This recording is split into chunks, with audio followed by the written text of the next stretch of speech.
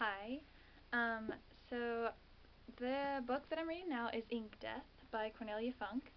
And um, in the book there are a couple of like little songs sung by the Motley Folk and they're about the Bluejay, which is like the robber that helps all the poor people, like Robin Hood. So um, there's one in chapter uh, 34, and here's my interpretation of it. Hope you like it. Piper, beware, your end is near. The adder's power dwindles. He writhes, he goes in mortal fear.